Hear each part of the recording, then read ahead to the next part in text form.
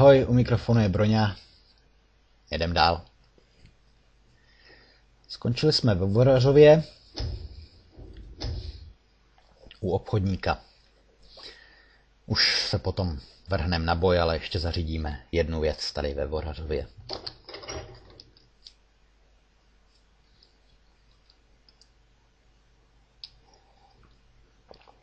Než půjdeme do boje. We have to go through town and across the bridge to get to Bleak Falls Barrow. You can see it from here, though. The mountain just over the buildings. Takže kdybychom šli potom za tém spáru, Kamila, eh, sestra Lukana nám ukazuje cestu, kudy máme jít. My tam zatím nepůjdeme. Uvidíte proč, já potom, až bude důvod to vysvětlit, proč tam nepůjdeme zatím, tak, tak se o tom zmíním. Ale tady v Riverwoodu ve Vorařově máme ještě jednu věc. Na práci.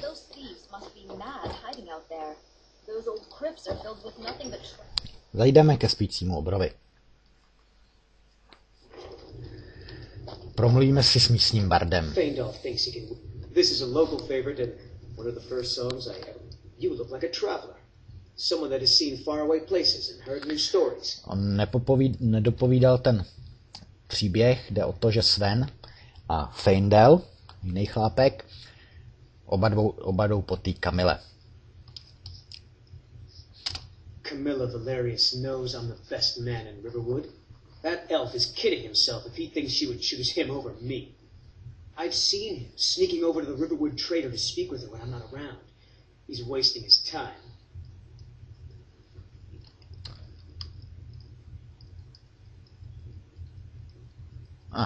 Nebudem si z něj dělat srandu. You may be right. Camilla may see as little more than a friend, but why take chances? Here, give Camilla this letter. It's full of venomous nonsense. Tell her it's from. Takže můžeme buď dát ten dopis Kamile, anebo můžeme udělat podraz na Svena a ukázat ten dopis Feindelovi. To je přesně to, co uděláme.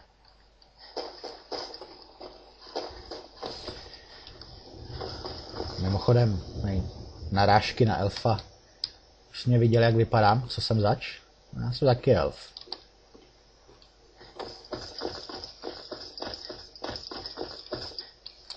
Feindela najdeme většinou tady. To je Feindel. Tady je nějaká mora tapinela někde. Jo, já už jsem ji vzal. Home. Zjistíte potom, proč si chci udělat z Feindela kamaráda. Kromě, kromě toho, že se schopnosti zlepšují tím, že je používáte, tak jsou ve hře i trenéři. Lidé, kteří vám mohou, nebo obyvatelé, kteří vám mohou vylepšit ty schopnosti. Stojí to peníze, ale hodí se to minimálně u té lukostřelby a možná i u kovářství. Alchymii a zaklínání si vylepšíme sami, když tam si možná taky pomůžeme. V každém případě jde o to, že nemusíte čekat, než nějakou tu dovednost budete používat, ale můžete si prostě koupit trénink. Feindl je trenér rukostřelby, to junior trenér, to znamená, může nás dostat maximálně tuším na úroveň 50, ale samozřejmě tolik peněz nemáme ani náhodou. Za prvé a za druhé na každé úrovni lze trénovat pouze pětkrát. Ale ty trenéři se hodí. Trénovat s ním můžeme hnedka, ale my z něj potřebujeme udělat kamaráda, abychom mohli k němu domů. Takže zatím necháme lukostřelbu lukostřelbou. What is that blowhard up to now? So, he thinks he can turn Camilla against me. Two can play at this. Here, give this letter to Camilla and tell her it's from Sven. Let's see what she thinks of him after reading that. Takže zase můžeme... Ne, dáme teďka ten mm-hmm, falešný dopis Kamile.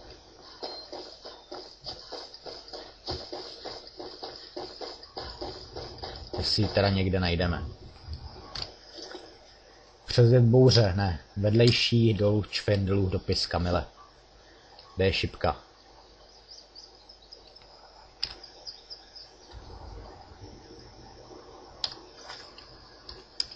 Ne, jenom vedlejší. Kde je Kamila?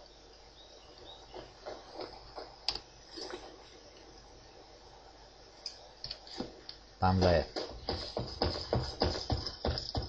Kde by byla jinde než v shopu?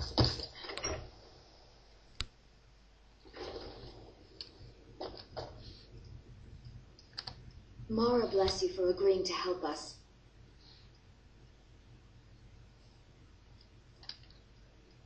Yeah. Another poem, I bet. He does know how to make a girl blush. What's this? If that oaf thinks all I'm going to do is stay in that filthy house of his and clean, I'll... You can tell Sven that he already has a mother. I'm not speaking to him anymore. Výborně. Good luck. Lucan and I will be waiting for you back in the shop. Zpátky k Feindelovi.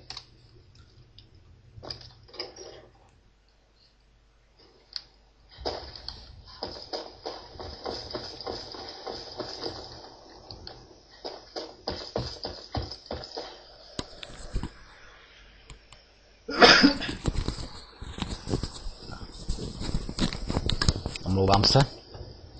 Zpátky k Feindelovi. Takže kromě toho, že nám zaplatí, Riverwood's agreeable enough, I suppose, for a Nord village. I appreciate your help. Please, take this. Some gold I've saved up from working at the mill. se z něj stane náš následovatel. Někdo, koho můžeme požádat o výpomoc. Může jít s náma, může nám nosit věci, jít s námi do boje. A to se nám teďka hodí. Nechceme ho do boje. Když, je náš, když máme následovatele, můžeme mu dávat nějaké úkoly. To, co chceme, je vyměnit si pár věcí. What do you want me to carry? Nechci nic. To, co od něj chceme, je lovecký luk, šíp s ocelovým hrotem, klíč k Feindelovu domu. To je to, co od něj chceme. A pak už od něj nic nechceme, on by tady čekal, nebo šel za náma, tak se s ním rozdělíme. Takže mimochodem jsme od něj zůstal, eh, získali, teď vidíme, že mám poškození 15 tím dlouhým lukem a šíp se železním hrotem. Vezmeme si lepší luk, lepší šípy, poškození 19. To je první věc a druhá věc je ten klíč. U Feindela je spousta zajímavých věcí. Ne, slepit se nechová.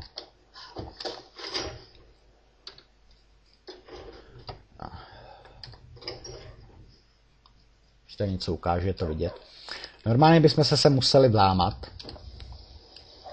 ale protože máme klíč, můžeme si otevřít. A protože to je náš kamarád, tak podobně jako v tom předchozím domě, kde jsme byli, můžeme si prostě ty věci vzít. Ingredience nás zajímají, co máš ve skříni. Nic toho nás nezajímá. Zajímavá kniha. Ne, do knihy nechci. Nezajímavá kniha.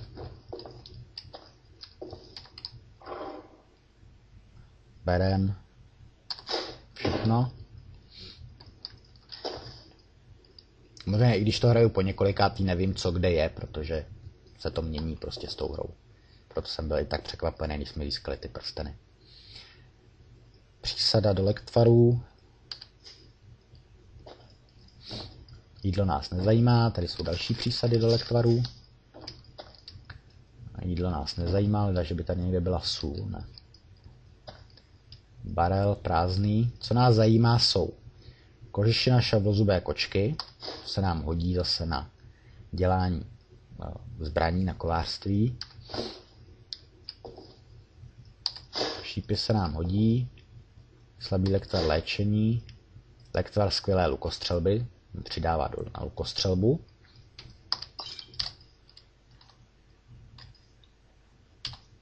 Šípy způsobují o 20% větší zranění po dobu 60 sekund.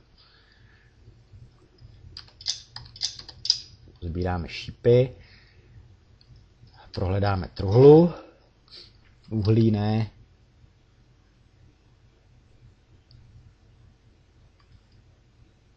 Berem.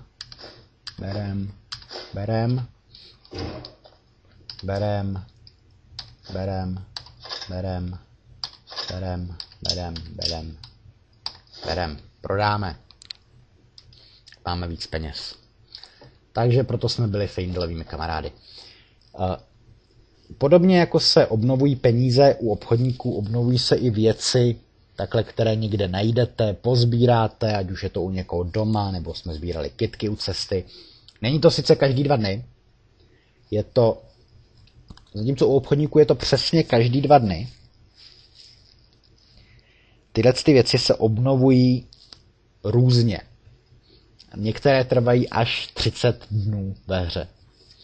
Problém je navíc trochu v tom, že když tam přijdete, kdybych sem přišel třeba zítra, nebo třeba za 10 dnů a ty věci nebyly, by nebyly ještě obnovené, tak ten čítač toho, kdy se obnoví, se spustí znovu. To znamená, je dobré se mít skutečně až někdy, Bůh ví kdy. Díval jsem se sem.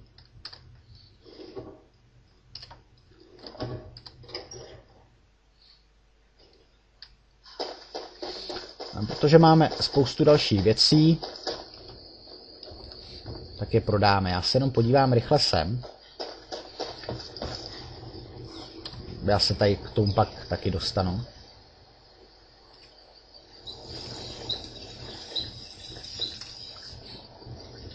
Jenom abych věděl, že si mám nechat ten lovecký luk.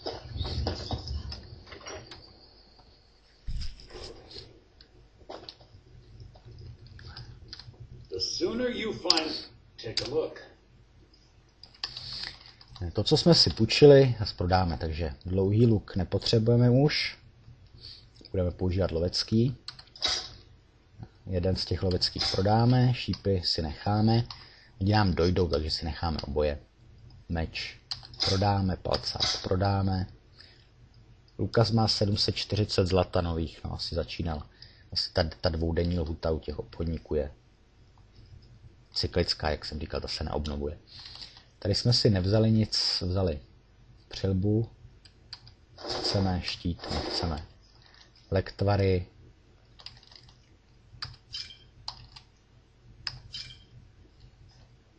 přísady neprodáme, různé, nic navíc zbytečného nemáme. Dají se kavčí tesák, který nám k ničemu.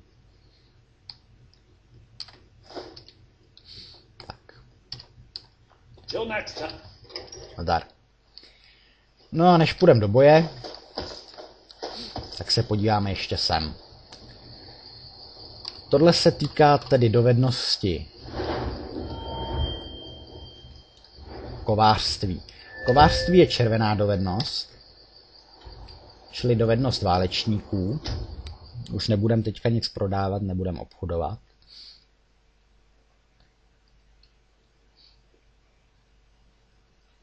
mamuty. Na mamuty vyrazíme.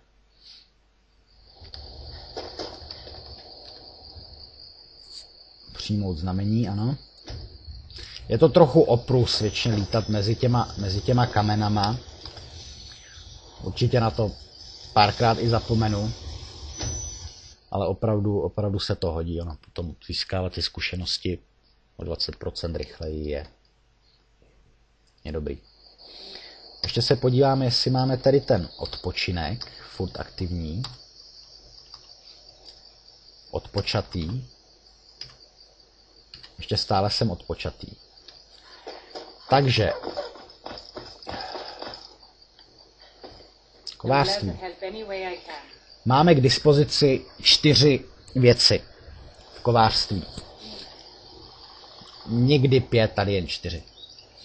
První, která tady není, je tavírna, kde tavíte rudu na ingoty. Až půjdeme nazbírat železo do toho dolu, který jsme potkali cestou, to bude náš první boj, tak tam vezmeme ingoty vezmeme rudu a musíme ji změnit na ingoty. Druhá věc je koželužský rám. Whatever you need. My smear of it. Simple and strong. Kde naopak ty kožešiny, které jsme sbírali, ať už z těch vlků, nebo pryč, nebo od Feindela, můžeme změnit na kůži.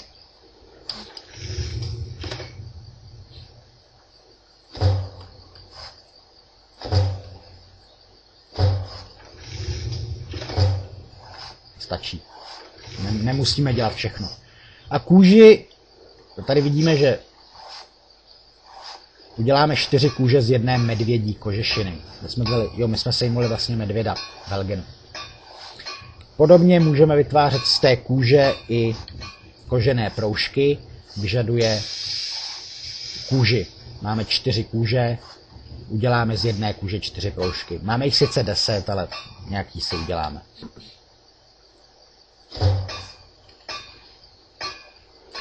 Proč to děláme? Protože tady je brousek, jo, tady je ještě pong, mimochodem tohle je k ukradení. Si nemůžeme bohužel vzít. Tady je pong, na ponku se vylepšuje zbroj.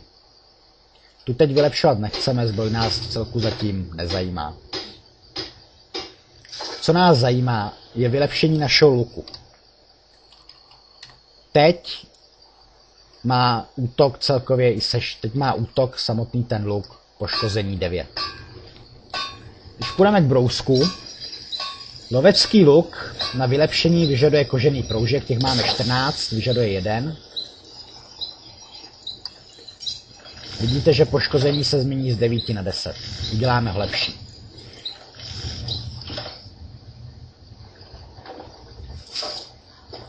Tady do toho dělá bordel. Čím samozřejmě schopnější budeme v kovářství, tak tím lepší, ale nebudou to jenom lepší zbraně, ale budou to třeba exkluzivní zbraně nebo legendární zbraně postupem času. A to je to, co si vylepšíme. Tohle je taky všechno ke kradení. Mimochodem, když se podíváme na dovednosti kovářství, vidíme nikde nic. Použijeme brousek. Vylepšíme silovecký luk.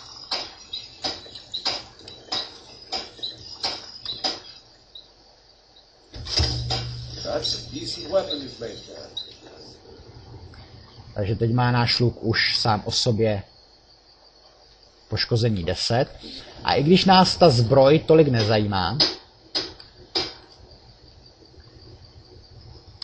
tak tím, že vylepšujeme zbraně, vidíme, že už má poškození 10, vylepšujeme zbraně nebo brnění,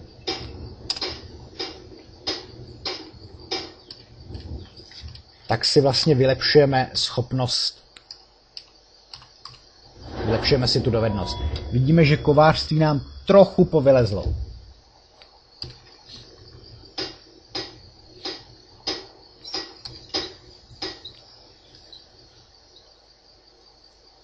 Vyžaduje celou kůži, jo. Taky celou kůži.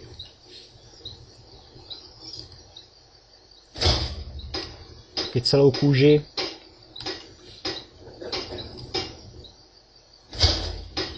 Nátepníky už nemůžeme, protože nemáme kůži žádnou. Tak si ji uděláme.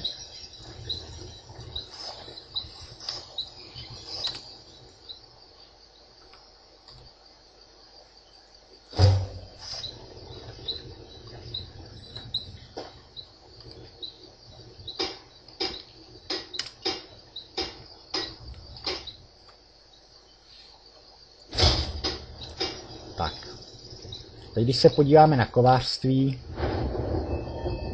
tak nám poskočilo. Jak jsem říkal, samotné slévání ani koželuský rám nezvyšují kovářství. Co zvyšuje je použití gusného kamene, ponku a po případě kovárna. V kovárně můžeme vytvářet zbraně.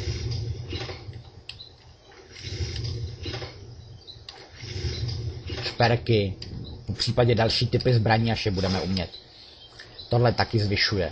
My samozřejmě můžeme vyrábět pouze kožené, i když můžeme i...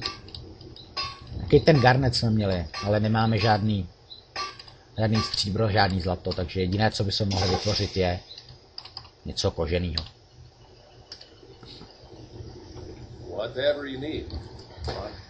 Takže byli jsme u Findela, získali jsme lepší luk, ukázali jsme si. Ukázali jsme si.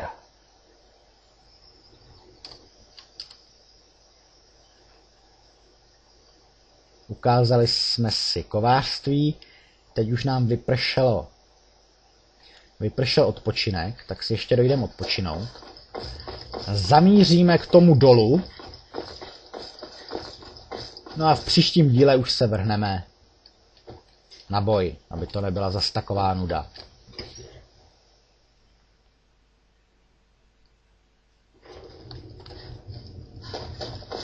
Dolphin. I'm the innkeeper. It's my biz... Are you joking? You just rented a room jo. My máme na 8 hodin ten bonus, ale pokoj jsme si objednali na celý den. Je 5.25 odpoledne. Stejně půjdeme do dolu, takže je celkem jedno, kdy tam dorazíme, jestli tam dorazíme ráno, večer, ve tmě. Mimochodem, mohli jste si všimnout, že se spal jen hodinu. Na to, abych se cítil odpočatě, tak je úplně jedno, jak dlouho spíte. Můžete spát třeba jenom hodinu.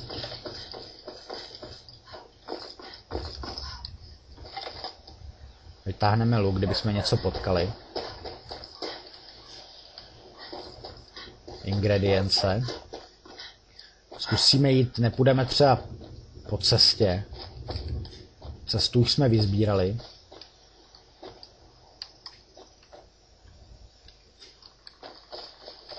Půjdeme tudy. Vidíme, že důl máme před sebou, to je vidět na tom, na tom mým radaru.